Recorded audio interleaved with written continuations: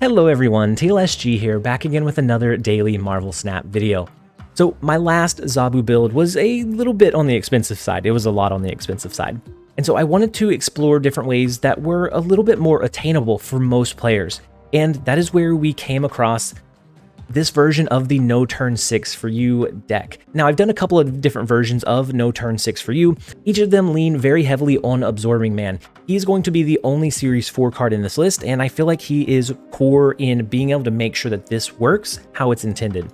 You could try to do a Moon Girl instead, that way you can copy your Spider-Man. The main idea is that you're going to lock down a lane with Storm, you're going to lock down the other locations with your Spider-Man and Absorbing Man so you can make sure that they can't play anything on turn 6, and that allows you to easily maneuver your cards and your power to find a way to win. Now, I feel like Absorbing Man, Spider-Man, and Doctor Doom are all core in helping elevate that power potential. Doctor Doom is great in reaching hard to reach locations, pushing a little bit of extra power into that storm lane, and then Spider-Man, of course, he is the enabler for this kind of archetype and locking down your opponent. Drax, on the other hand, really all you want is a powerful turn 4 drop, and so something like a Crossbones or a White Queen would do just fine. I just like the high roll potential of Drax if you hit that on reveal, or if maybe you do it in Kamar-Taj and you hit the on reveal. But something like a White Queen would be that good middle ground. You're going to get some information on the opponent, plus you're going to have a consistent 6 power to play as well. And out of my and out of my initial testing, out of 10 games, I won 6, so a 60% win rate, and I had a net cube gain of 15. So really, really strong showing for the first 10 decks, especially with a control build forces the opponent to retreat most of the time. And so we're going to go ahead and jump over into a couple of games. I hope you guys enjoy. All right, first up we have Episteme, and the first location is the Raft. We will probably play away from that location. We'll probably end up pushing like our Lizard and our Storm into a different location. Typically, the Raft will encourage players to play there early and heavy, and if we can lock that lane down on the end, or lock the other location down and they've already capped out this location, then we have a lot of control on what we can do on those last couple of turns, or on the last turn of the game at least. We're going to go ahead and storm the Nidavellir location. It is nice and actually, with if we end up going Zabu, we won't be able to lock down two lanes with the Spider-Man and Absorbing Man because it would reduce the cost of those cards down below the Crimson Cosmos. Now, actually, this is kind of interesting. They used the Zabu, and if they're going with a heavy card reduction where they just want to play a lot of cards onto the board, they actually can't play anything into Crimson Cosmos. So just based off of that alone, I'm gonna go ahead and snap here. We could play Zabu and then flood a few cards onto the board, but we're to want to save our Spider-Man. If we play Zabu, we won't be able to place Spider-Man into the Crimson Cosmos. And what we're going to do is give up the raft location. We're going to compete for the middle and the far right. I think those are going to be our two easiest lanes that we can win. And so they do use a Mr. Fantastic. Now, if they cap out the raft location this turn but don't play anything into the Crimson Cosmos, then we have the easy win. They will have a zero cost six power card, but they'll have no place to play it. And they do have the two power in the Crimson Cosmos, but they're not going to be able to push anything over there other than that two power. And we heavily won the flooded location already. So all we'll have to do is drop our Chavez, and this is an easy game. All right, so they do play into the raft location. They use a Killmonger, that's fine. We lock them out of the Crimson Cosmos, and just like that, we have the win. They have six resources, a lot of reduced cost, four power cards, but they don't have any place to play them. And so we are going to take the two cubes. Let's jump over into the next one. All right, next up we have Rin.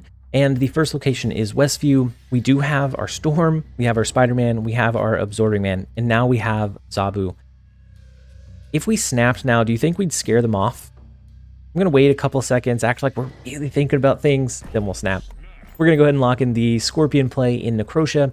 We will follow that up with Storm in that middle location.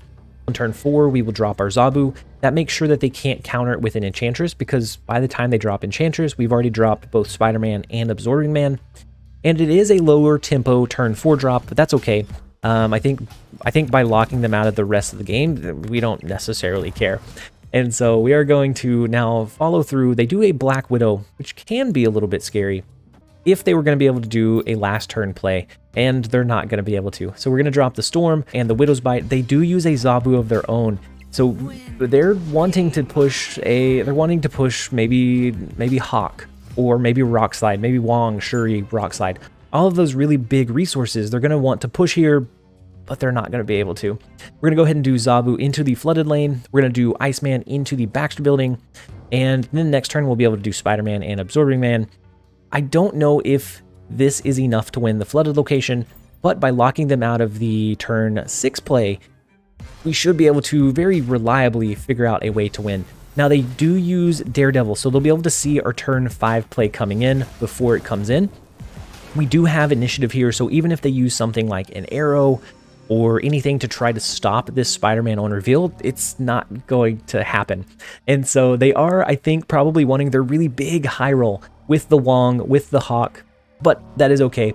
We're going to lock down both the Spider-Man and the Fisk Tower location, and they won't be able to do a last turn play. And then we did draw into Doctor Doom, which is probably the perfect draw we could have asked for.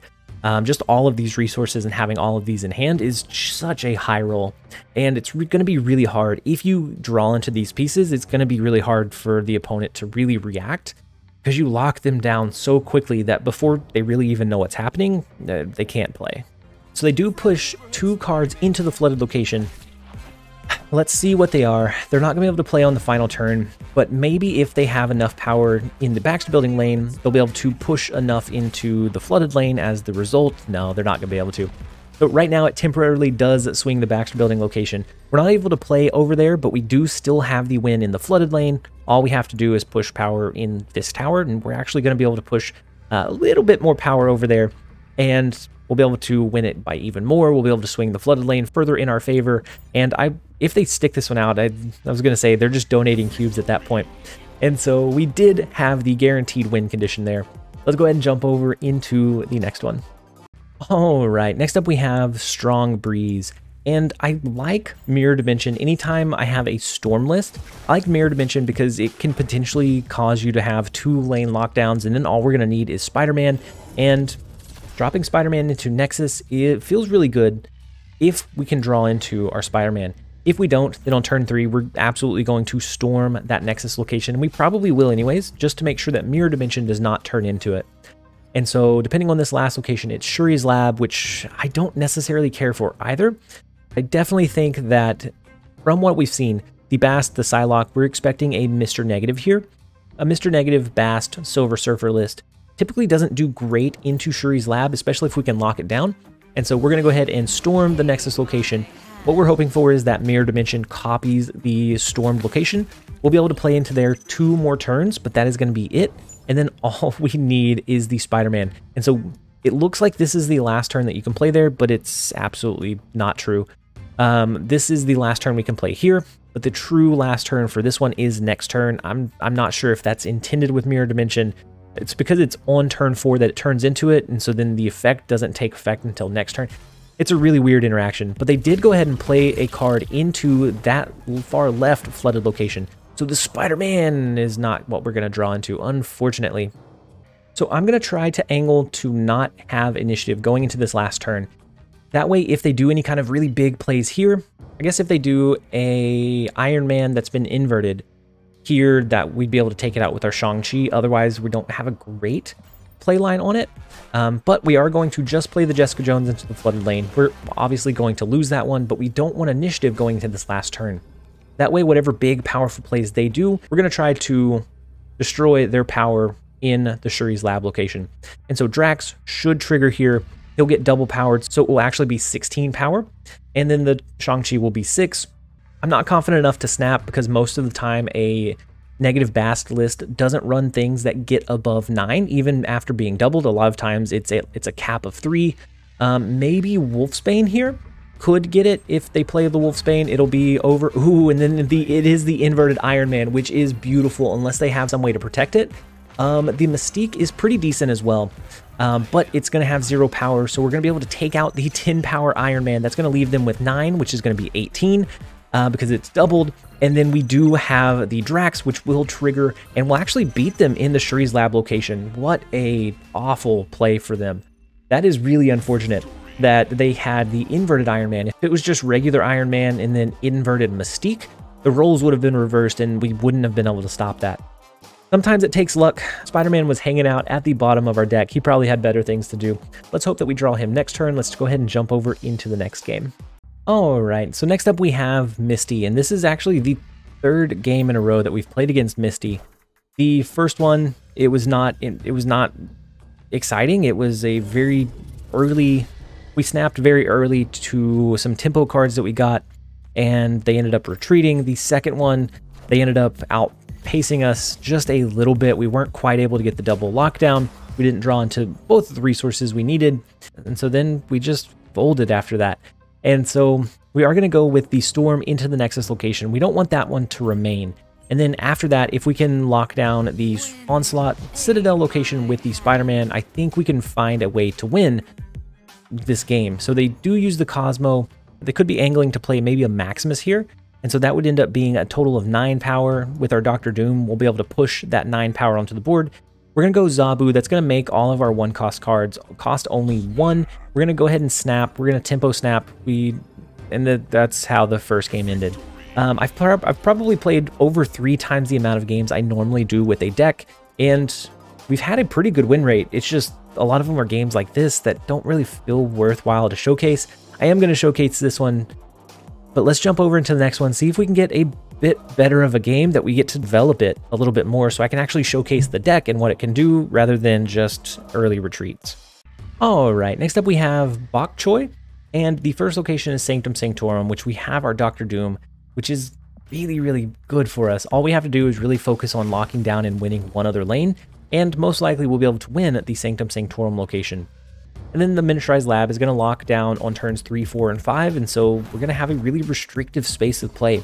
We're only going to be able to play into this far right lane up until the last turn of the game. And this location is Gamma Lab. I actually think we might go with a Storm. We can go with a Storm into a Jessica Jones.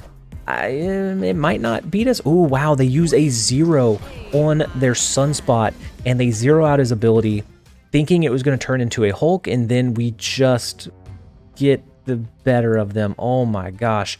So we're going to go ahead and do Jessica Jones. That's going to give us plus 8 power. We're both going to have to skip on turn 5. The Enchantress is okay. We don't have any strong ongoing abilities. Now it's going to come down to us winning the miniaturized lab location. I'm going to go ahead and snap and hope that they don't put us on having the Doctor Doom. The Doctor Doom will help us win Sanctum Sanctorum.